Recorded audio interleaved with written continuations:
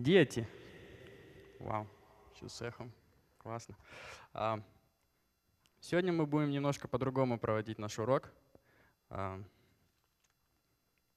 Я бы хотел вас всех пригласить сюда поближе. Даже так, давайте представим, что мы, можно сказать так, на улице. Я бы хотел, чтобы дети просто вот здесь осели. Я вот тут и присяду, а детишки впереди сядут. У нас будет сегодня более такая дружеская атмосфера. We're gonna, we're gonna get uh, free about this because this is lessons for you and you guys will uh, hopefully enjoy it. Don't worry, if you're a little older than these kids, don't it's okay, you can come here as well. Nobody's gonna say anything.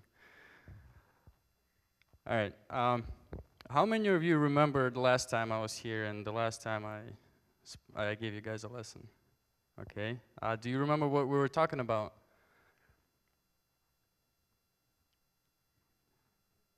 You don't. All right. That's okay, because uh, it's been a while. It's been a couple of months. Uh, we'll, we'll quickly make uh, a preview of what we're talking about. We're talking about the armor of God, right?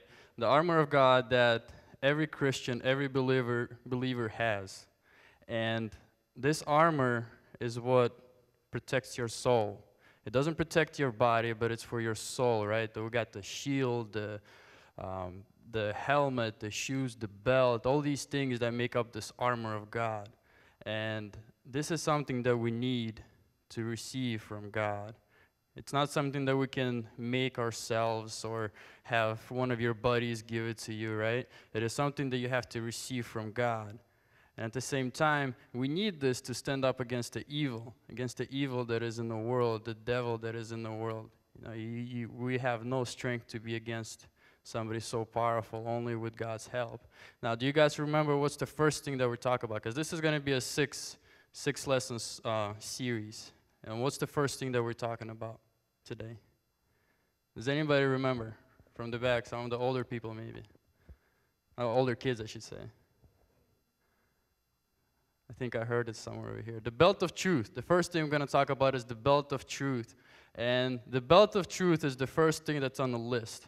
When Paul writes about this armor of God, he mentions the belt of truth. And what's interesting is he doesn't mention the sword, right, guys? He doesn't mention the sword that you can swing around and do things, or he doesn't mention the shield as the first thing that you can defend yourself with, right? He mentions the belt of truth. And it's very important why it's the belt of truth. Now, do you guys know there's one thing that will make your parents very, very joyful? You know what that thing is? I'll give you a hint. It is written in the Bible. In the book of John, the th- third John, chapter 1, it says, I have no greater joy than this to hear of my children walking in the truth. Your parents would be more than happy. It will give them such a great joy to know that you're all walking in the truth. Now, we have a question, right? What is the truth? What is the belt of truth, right? This is a very important question. A lot of people ask this question. And it is a good question. It is a very difficult and good question to start off with, right? Um, вам нормально видно, да? Окей, света хватает. And we'll, we'll take it right to the Bible. The answer is right in the Bible. Um, here, Jesus is talking to his disciples. He's telling them that he's going to go into the heaven to prepare a way for them, to prepare a room for them. And one of the disciples is saying, Jesus, where are you going? You know, Jesus says, You know where I'm going, you know the way. But Thomas is the guy who's asking, like, Jesus, I don't know the way. Where are you going? To which Jesus says to him, I am the way and the truth and the life. No one comes to the Father but through me. So Jesus says, I am the truth. That brings us to another question. What does Jesus mean when he says, I am the truth? Right? That doesn't really say much. And it's good to ask questions. That's what we're supposed to do. You know, if, if, if you're in school and the teacher is telling you something, right, and you don't understand it, are you going to just sit? Or are you going to ask the question, like, okay, I don't understand. I need to know. Can you please explain more? Right, so when, we, when Jesus says, I am the truth, what does that mean? We're Going straight to the same book, book of John. And In chapter 8, it says, Jesus was saying to, the, to those Jews who had believed in him, If you continue in my word, I don't know if you can see that. Yeah. If you continue in my word, then you are truly of mine, and you will know the truth, and the truth will make you free. Okay, so now we know that Jesus is the truth, and the truth he's talking about is his word, right? In the same Bible, the same book, the book of John, starts with the words, In the beginning there was the word, and the word was with God, and the word was God. So now we know that the word of God, the Bible is the truth. It holds the truth, and that's where we go for the answers, right? But then we're also going to ask a question, you know, well, it says the sword of the Spirit is the word of God. That doesn't make sense, right? Because the sword, the, the sword of the Spirit is on the same list of the armor of God. So how, how is the, the word of God the truth? Well, that's a good question. It's not the question that we come upon. Now, if anybody's writing these things down, I want you guys to write these three things that define the belt of truth.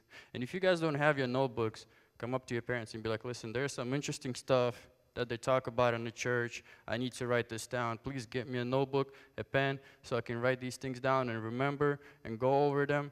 Don't be shy. Your parents will get you a notebook and a pen. So, the very first thing that defines the belt of truth is the understanding of the truth. Now, in order to understand, do you guys remember the story of Ethiopian and uh, Philip? When Ethiopian was riding in the chariot, he was reading the word of God, and then Philip asks him, Do you understand what you're reading? And he says, No, I don't. Would you explain it? So that's the thing. We need to understand the truth. If you don't understand the truth, it doesn't do you any good, right? Right. So the first thing you want to do is you want to understand the truth, and you, you want to come to the people that know the truth, which I'll start with your parents. They probably know. I assume they do. The second thing you want to know is you have to realize the truth, right? You have to realize that there is God and there is the devil. There is heaven and there is hell. You have to realize that we're all going to die eventually. Every single person eventually, sooner or later, he's going to come to his point where he has to die. But the soul also always remains. The soul will always be there. And your soul has two ways to go heaven or hell. You have to realize that. You have to realize that we are up against a very powerful being, the devil. But you also have to realize that God has already beat him on the cross. The sin has been won. It's just we are now part of the battle because the battle is now for the souls. But the war is already won. It's just we have to put on the belt of truth so we can continue. And the third thing is you have to remain. Remain in the truth. And that is very important. A lot of people will put on this belt, and a couple of years down the road, they forget about the truth. They get carried away by the world, and that kind of leads them astray. But remaining in the truth, and that brings us back to the same verse that we started off, that brings a lot of joy to your parents is when you continue walking in the truth. Right? So, those are the three things. Um, without the truth of belt, we have the rest of that armor, right? The, the breastplate and the, the shoes, shield, the sword, the helmet. If you don't have the truth about that, then the rest of it is not going to do you any good.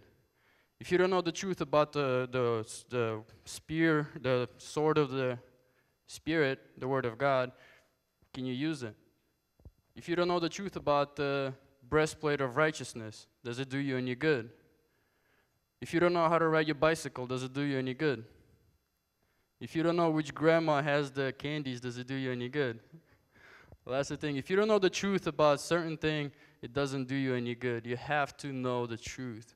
And that's very important. This is why Paul starts with the truth of Bel, because that's the main factor that brings the rest of the armor together. And with that being said, our next topic is going to be the breastplate, breastplate of righteousness. We're going to talk about what is it, where do we obtain it, how do we obtain it, how does it help us? You know, we're going to ask all these questions. And guys, like I said before, have your parents get you a notebook. You're going to need it. How many of you know how to write? Okay, we got some. That's good because I mean, I I was at one point when I didn't know how to write, and then you learn. Uh, but if you can write, get yourself a notebook because that's going to help you a lot. Now, we're going to Start praying with these lessons. So, what I want to do is, I want to gather you guys for a prayer. And if any of you want to pray, if anybody in the back wants to pray, feel free. All right? Because prayer is a powerful thing, and I believe that prayer can do stuff that we can't. You know, because when we talk to the God, we're asking Him to do things, and He's the one who can do all things. All right? So, let's pray. If anybody wishes to pray, go for it.